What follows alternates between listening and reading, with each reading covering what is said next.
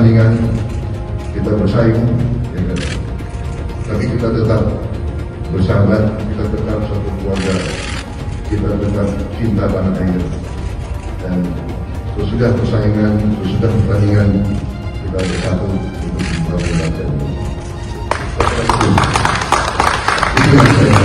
Pak Prabowo nawarin ke Pak Surya nggak sih Pak untuk Pak Surya ayo bergabung. Ah, gitu.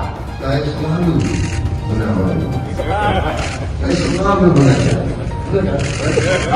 KPU telah mengeluarkan pengumuman resmi yang hasilnya dalam versi KPU telah kita dengar bersama.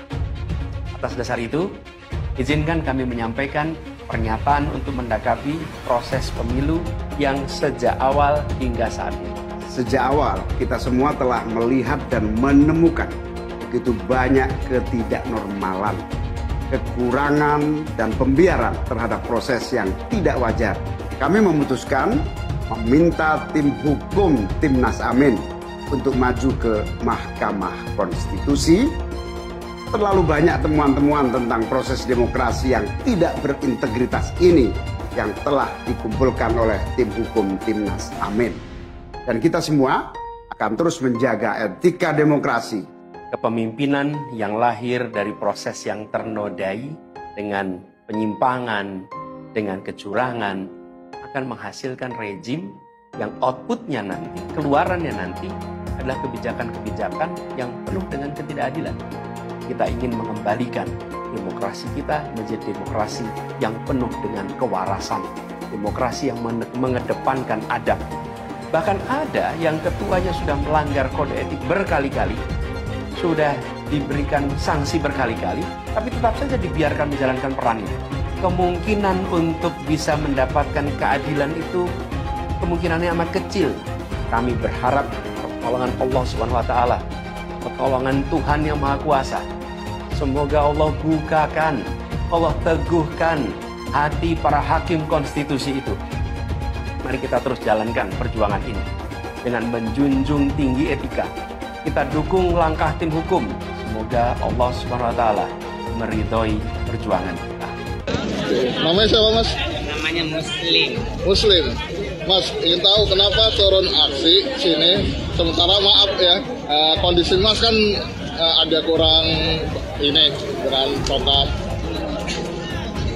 karena kan saya mau presiden itu kalau mau menang jujur jangan curang Nggak takut mas? Kalau kalau ada apa-apa nggak takut? nggak takut. Saya takut kepada Allah nggak takut siapa. Saya nggak percaya saya rakyat Sumatera Utara nggak percaya Prabowo menang. Yang percaya Prabowo menang mendingan pindah agama aja. Udah itu aja. Oke mas, ada satu kata terakhir mas, nggak ada. Lawan gitu. Pokoknya yang percaya Prabowo menang pindah agama. Agamaku Islam dia nggak percaya. Oke. Terima kasih mas.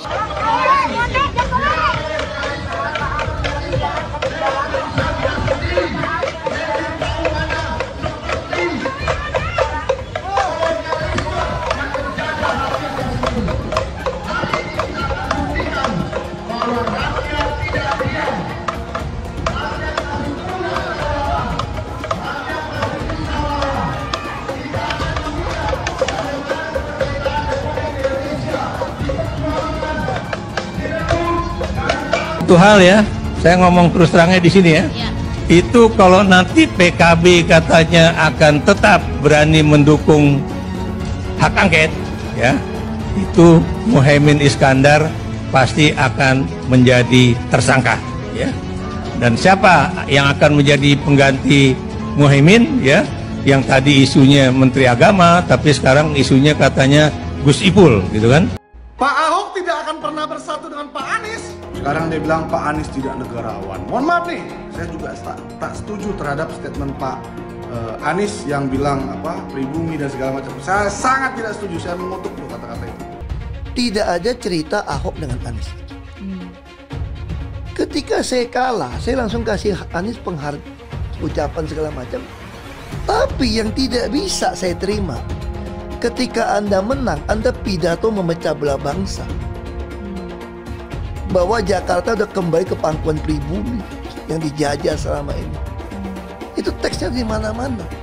itu sangat memecah belah bangsa. Saya ini asli Indonesia sesuai undang-undang loh. Apa karena saya namanya Ahok? Itu yang tidak betul. Seorang Anies lakukan. Bagi saya Anies sangat tidak negarawan. Anda udah menang, yes oke okay, gitu loh.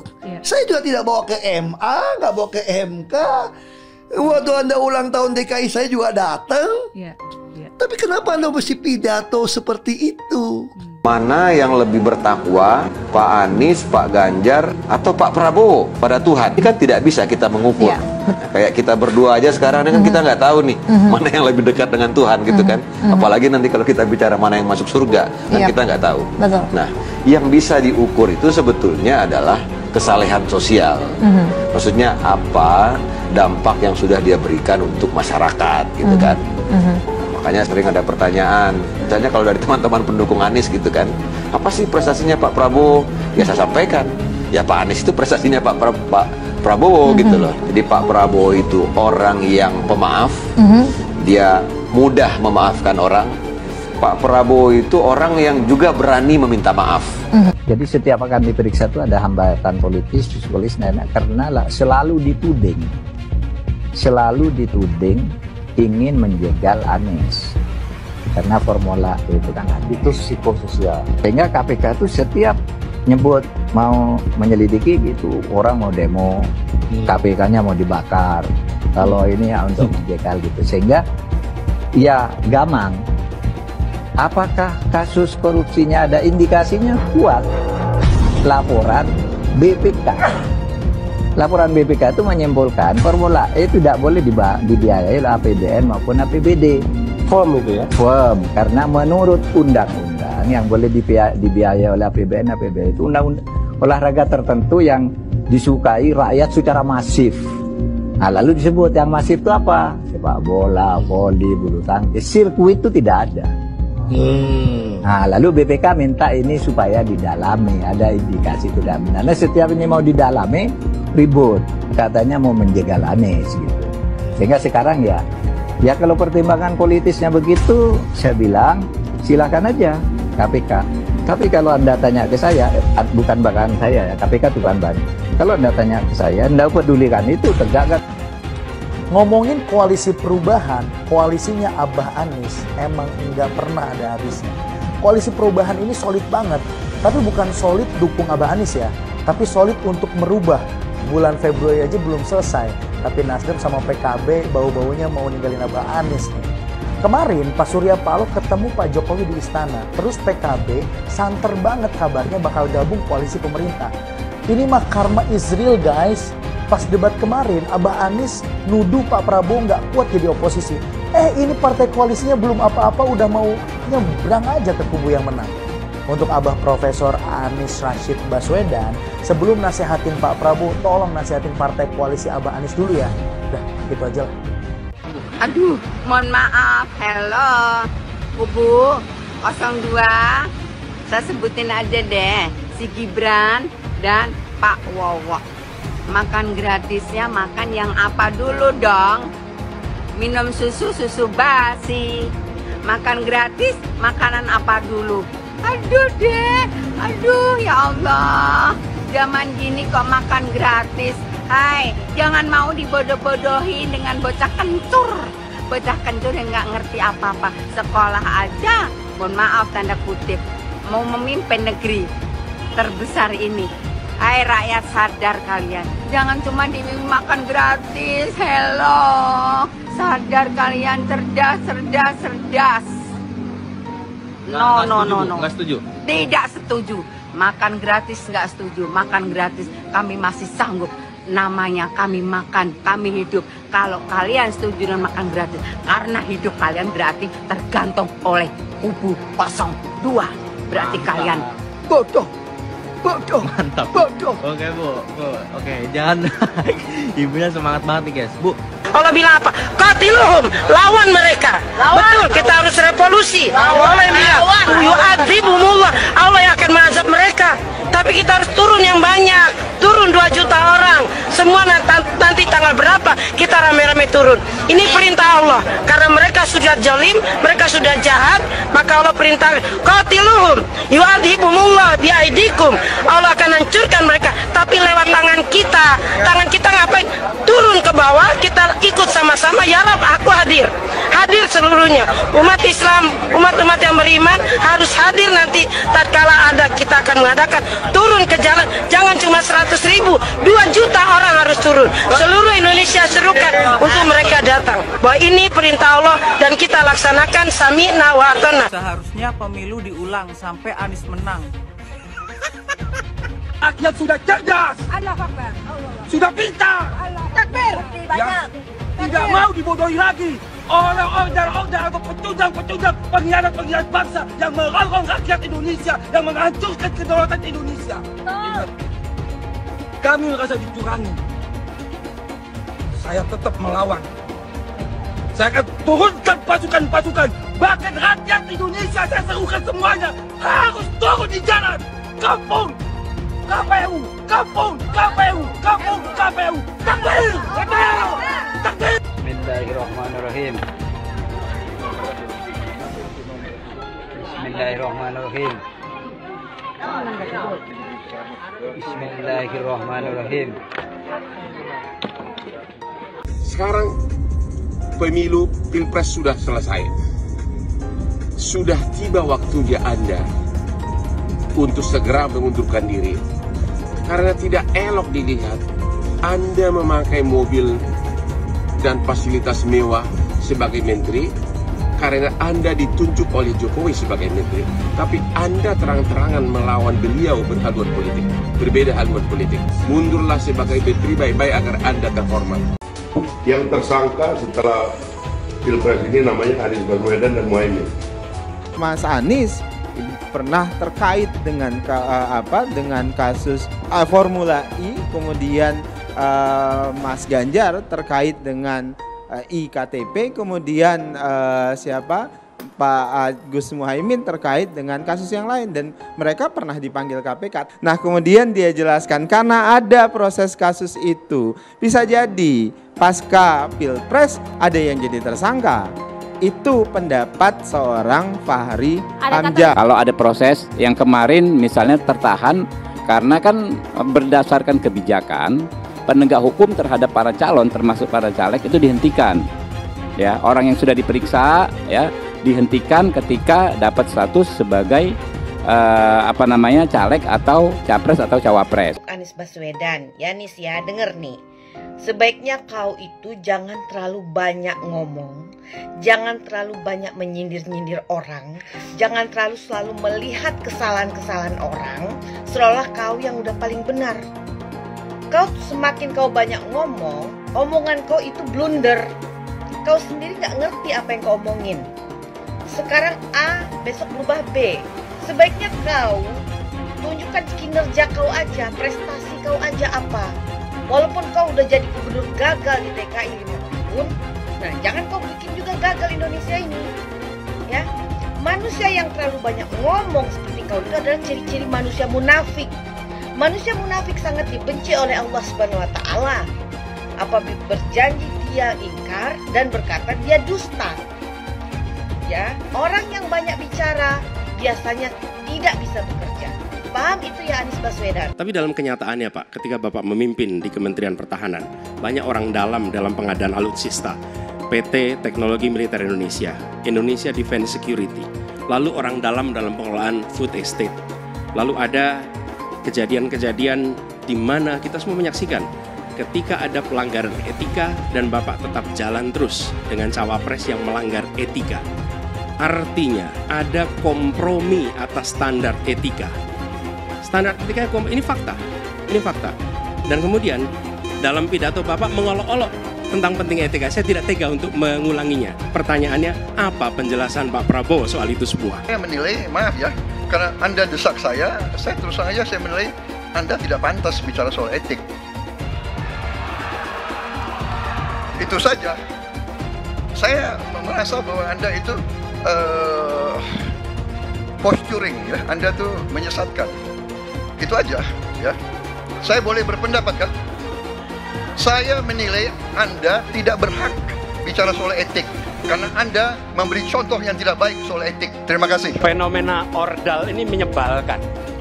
Di seluruh Indonesia kita menghadapi fenomena ordal. Ada ordal di mana-mana yang membuat meritokratik nggak berjalan, yang membuat etika luntur. Dan ketika ketika fenomena ordal itu bukan hanya di masyarakat, tapi di proses yang paling puncak terjadi ordal, maka rakyat kebanyakan dan ini saya rasakan beberapa waktu yang lalu beberapa orang guru berjumpa dengan saya dan mereka mengatakan Pak di tempat kami pengangkatan guru-guru itu mendasarkan ordal. Kalau tidak ada ordal, nggak bisa jadi guru, nggak bisa diangkat. Lalu apa jawabannya?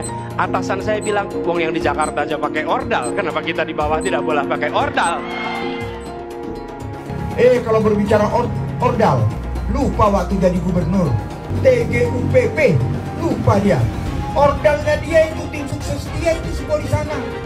Jadi Anies itu banyak yang dia omongin, padahal dia melakukan hal yang dia pertanyakan. Mas Anies, Mas Anies. Mas Anies, Mas Anies, masa sih angin kok sampai nggak punya KTP lo ya? Uh-uh. Angin keluar, angin masuk, angin keluar, masuk angin, angin dodo ya angin puting beliung, wes angin-anginan itu kok semua bisanya nggak punya KTP itu loh ya. Angin dari Jakarta ke Lampung ke Sumatera ke Jawa itu ya. Kok bisanya liar begitu? Sama seperti air hujan ya, air hujan itu yang banjir itu bukan banjir ya. Itu air parkir ya, air yang parkir Mas Anis, Mas Anis. mau punya pemimpin yang seperti itu ya mau punya pemimpin yang seperti itu dikiranya rakyat ini bodoh semua kali ya. Air hujan jatuh ke bumi nggak boleh masuk gorong-gorong. Yang banjir itu bukan banjir itu parkir Mas Anies Mas Anies. Mas Anies pernah jadi gubernur lima tahun di DKI DKI menerima indeks polusi tertinggi di dunia. Bagaimana dengan anggaran 80T Pak Anies sebagai gubernur tidak dapat berbuat sesuatu yang berarti untuk mengurangi polusi. Terima kasih. Polusi udara tak punya KTP. Angin tak ada KTP-nya. Angin itu bergerak dari sana sini. Ketika polutan yang muncul dari pembangkit listrik tenaga uap mengalir ke Jakarta, maka Jakarta punya indikator karena itu Jakarta mengatakan ada polusi udara. Ya susah kalau kita menyalahkan angin dari mana saja ya. Kalau kita dengan gampang menyalahkan angin, hujan dan sebagainya, ya mungkin tidak perlu ada pemerintahan kalau begitu, ya. Mas Anies, Mas Anies. Saya saya berpendapat uh, Mas Anies ini agak berlebihan. Mas Anies mengeluh tentang demokrasi ini dan itu dan ini. Mas Anies dipilih jadi gubernur DKI menghadapi pemerintah yang berkuasa. Saya yang mengusung Bapak.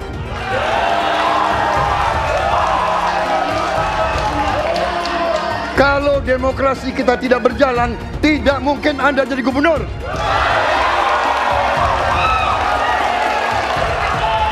Kalau Jokowi diktator, Anda tidak mungkin jadi gubernur. Saya waktu itu oposisi, Mas Anies. Anda ke rumah saya, kita oposisi, Anda terpilih. Apa yang bisa diharapkan dari Anies? Nggak ada. Jakarta amburadul, mimpin Jakarta Jamburadul apalagi mimpin Indonesia? Anies itu perbual. Kayak mana apa karena perbual itu? Pembohong. Pembohong itu Anies itu gak usah dengar itu. Nggak layak jadi pemimpin. Apalagi jadi presiden. Di Jakarta aja kamu tengok itu amburadul di Jakarta? Tingkat kemiskinan tinggi. Pembangunan. Apa yang bisa dibangun Jakarta? Satu puskesmas pun bangunnya nggak ada masjid aja nggak dibangun rumah ibadah. Di mana-mana kelebihan bayar. Apa yang bisa dibangun Anies? Satu aja nggak ada. Satu saja tunjukkan apa yang bikin Anies dibangun di Jakarta. Ganjar belum kampanye saja tetap di atas. Apalagi sudah kampanye. Anies yang sudah keliling Indonesia, yang naik jet pribadi, keliling, jangankan naik, makin nyungsep ke bawah. Nah, masyarakat sudah tahu siapa Anies. Anies, siapa di belakangnya? Oligarki, satu. HTI, FPI. Masyarakat Indonesia bukan cari orang Yaman. Indonesia mencari nyaman. Anies ini keliling-keliling Indonesia mau ngapain sih? Bingung saya ngelihat. Menawarkan perubahan tapi tanpa konsep dan gagasan. Apa yang mau dirubah dan perubahannya seperti apa? Apakah akan merubah negara Pancasila menjadi negara khilafah juga nggak jelas. Jadi perubahan apa yang mau ketawarkan nih? Jadi jangan berharap dapat lotre lah nih tiba-tiba jadi presiden Indonesia. Nggak, Indonesia ini terlalu luas, terlalu besar. Jangan bermimpi lah. Bicara ke sana ke sini keliling Indonesia seolah-olah paham dan mengerti masalah negara. Lawang jadi gubernur raja lima tahun kamu nggak ngerti masalah Jakarta. Apa yang kamu lakukan dengan Jakarta? Nggak ada nih, nggak ada. Masalah Jakarta segitu banyak tak satu pun yang selesai. Yang ada malah kerusakan bertambah. Anies hendak jadi presiden, hendak mengadakan perubahan. Perubahan apa nak kau buat? Nak kau balik Indonesia ni telontang jadi telangkup. Yang sudah maju dipandang mata dunia, hendak kau manakan lagi? Apa yang makanya kalau nak baca pidato tuh, hendak merubah Indonesia, sebutkan apa yang hendak dirubah. Jangan kata rubah ado, tapi yang hendak dirubah tak ado. Serupa dengan rekam jejak. Lihat rekam jejak. Apa rekam jejak kau di Jakarta? Apa yang kau jaga di Jakarta? Bukan yang ada kalau jaga di Jakarta kau bilang rekam jejak, rekam jejak, sekam pidato dulu rekam jejak, jejak saja. Gaya orang nanguk kau bodoh-bodoh saja orang nak pidato kau pembodoh-bodohan. Kau anggap orang Indonesia ini bodoh semua, yang pintar orang Yaman. Yaman. Bila ingin melihat apa yang akan dilakukan seseorang ke depan, maka lihatlah rekam jejaknya. Karena rekam jejaknya adalah prediktor terbaik untuk masa depan. Saya mensyukuri kenapa kalah, kenapa ditahan. Saya bersyukur atas itu semua. Saya coba bayangkan ya, kalau seandainya waktu itu kita menang, waktu itu kita menang gitu ya, hari ini belum tentu kita bisa nikmati seperti ini. Kita bersyukur lima tahun Tuhan izinkan kasih ke orang yang pintar ngomong untuk kerja. Coba kalau kita bayangkan gitu ya, kalau kemarin saya masih jadi gubernur, ini saya udah turun ini. Tapi yang pintar ngomong itu dikira orang hebat kan? ini lebih ber, lebih berbahaya tahun 2024. Langsung ketahuan karakternya. Langsung ketahuan itu. Di saya juga ada kutipan Pak di kamar saya Pak.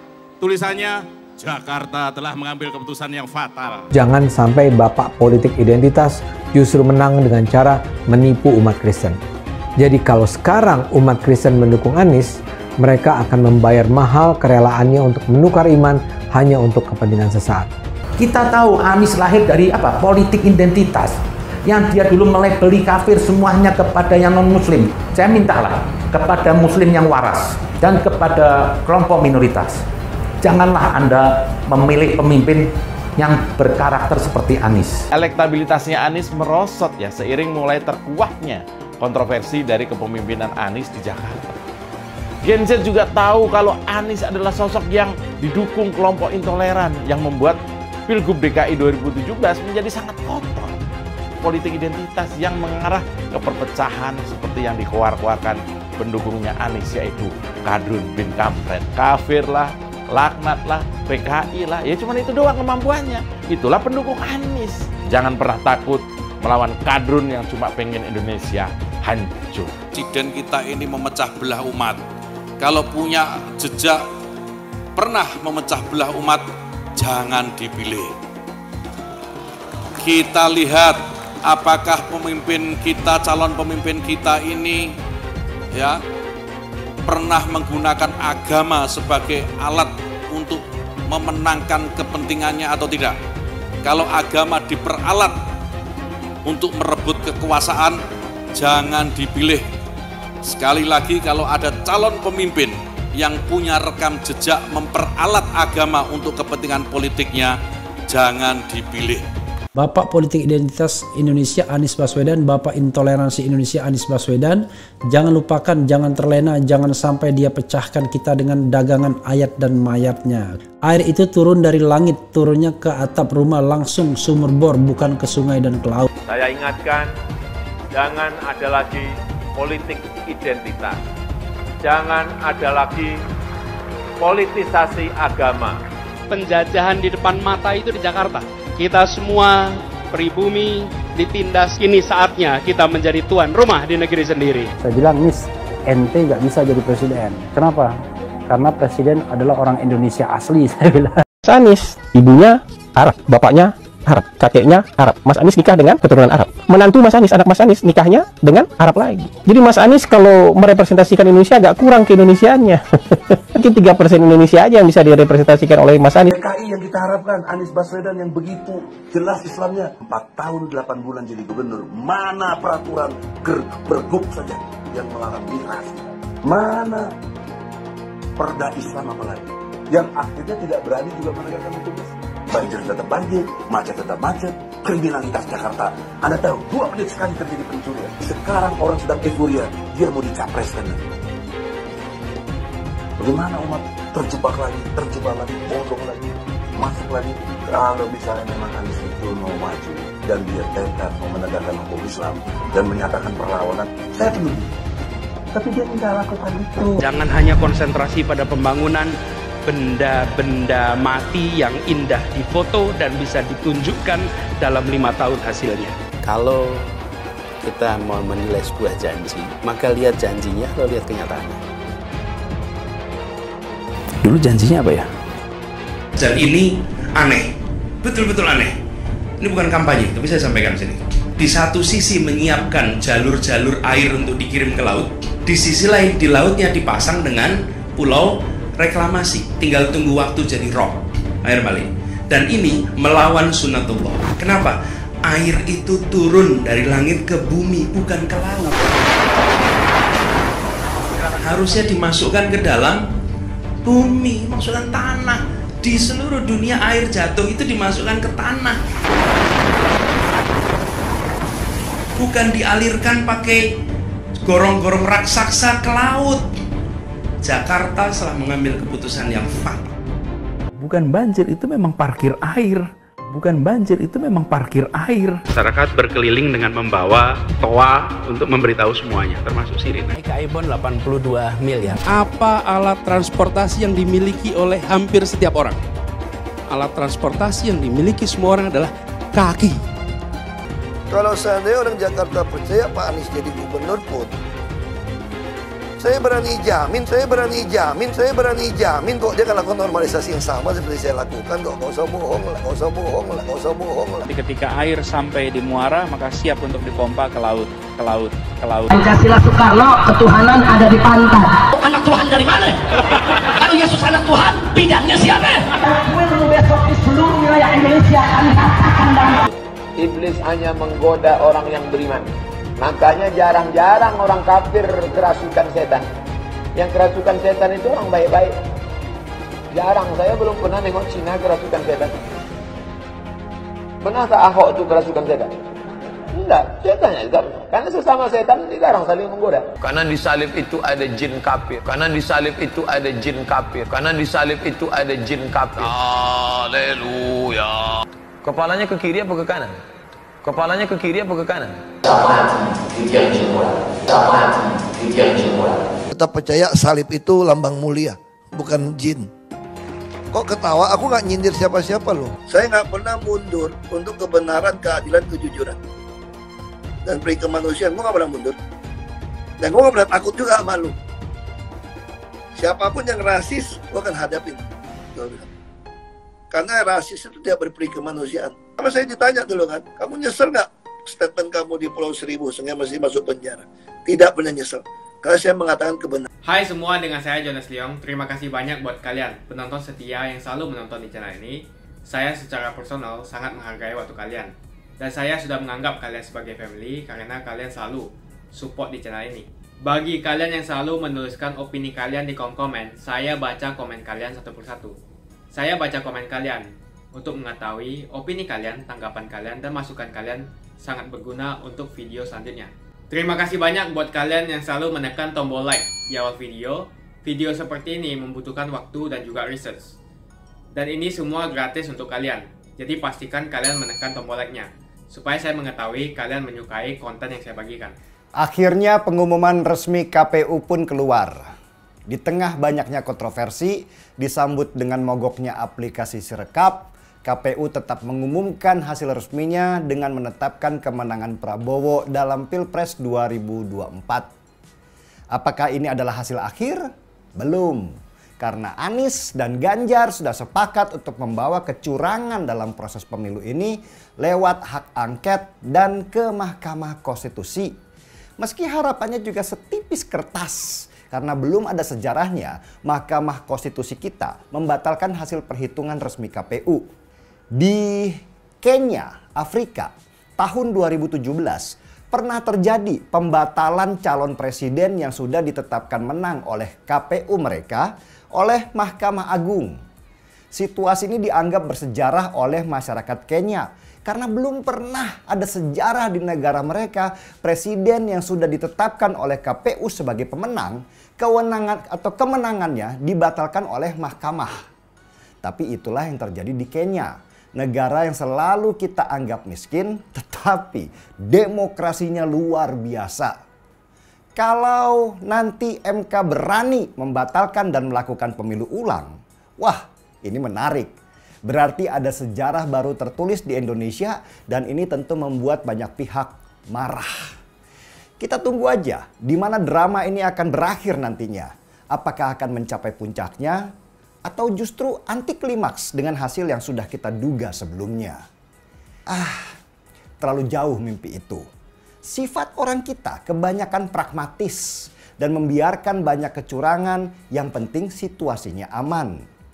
Itulah kenapa negeri kita ini sulit maju karena terlalu toleran terhadap kecurangan apa pun dengan alasan demi keutuhan bersama. Tahun 2017 calon petahana di Kenya yang sudah ditetapkan menang oleh KPU Kenya bisa dibatalkan oleh Mahkamah Agung dan pemilu diulang lagi karena Mahkamah Kenya melihat ada kecurangan yang terstruktur, sistematis dan masif yang dilakukan oleh incumbent Presiden Kenya dengan memanfaatkan fasilitas negara. Apakah Mahkamah Konstitusi kita berani seperti Mahkamah Kenya yang membatalkan pemilu karena banyaknya bukti-bukti kecurangan? Tahun 2024 ini lebih adem karena yang kalah lebih berpendidikan dan tidak membawa kasus ini ke jalan dengan demo brutal yang mengorbankan nyawa. Kalaupun ada teriak kecurangan, Teriakan ini dibawa ke ranah yang lebih terhormat seperti di ruang pendidikan hukum, di hak angket, dan di Mahkamah Konstitusi karena jalanan bukanlah segalanya. Tapi kalaupun Ganjar pada akhirnya diputus harus kalah dalam pemilu 2024 yang dibilang pemilu paling brutal dalam sejarah reformasi ini, biar bagaimanapun saya bangga. Secara angka mungkin kita kalah, tetapi secara moral kita itu menang. Jadi teringat tahun 2019 ketika Jokowi menang. Pendukung Prabowo ngamuk berhari-hari dengan demo karena menganggap pemilu curang. Gen Z dan milenial bisa dibilang buta sejarah tentang reformasi. Karena nggak pernah diajarkan di sekolah-sekolah. Nggak seperti sejarah PKI yang dulu menjadi mata pelajaran yang wajib diajarkan oleh rezim Soeharto dan membuat orang takut Mungkin kemenangan Orde Baru yang mirip dengan kemenangan Bongbong Marcos di Filipina ini menyentak kepala kita yang lalai dan lupa mengenalkan terus-menerus sejarah reformasi dan kenapa kita harus tidak boleh melupakan masa perjuangan itu. Saya pribadi bangga sudah mengawal Ganjar karena sebenarnya yang saya kawal itu bukan personal tetapi mimpi besar bahwa Indonesia akan ada di tangan orang baik dan pintar. Selain itu, saya juga mengawal agenda reformasi yang sudah diciptakan oleh mahasiswa di tahun 1998. Kalaupun sekarang ini kalah dan Orde Baru muncul kembali, mungkin itu pembelajaran buat bangsa Indonesia tentang betapa pentingnya mata pelajaran sejarah supaya kita tidak lupa jati diri bangsa. Yang ingin saya sampaikan pada Pak Ganjar dan Pak Mahfud, tetaplah berjuang sampai akhir di hak angket dan Mahkamah Konstitusi, meskipun banyak orang yang mencibir. Karena gugatan di Mahkamah Konstitusi itu penting sebagai sejarah juga bahwa kita pernah punya masa kelam di mana dalam sebuah kompetisi nasional ada wasit yang berpihak pada salah satu kontestan dan kemenangan dengan kecurangan menjadi hal yang dibanggakan. Di tengah-tengah rayuan untuk berpihak pada Orde Baru, saya pribadi tetap berpihak kepada agenda reformasi.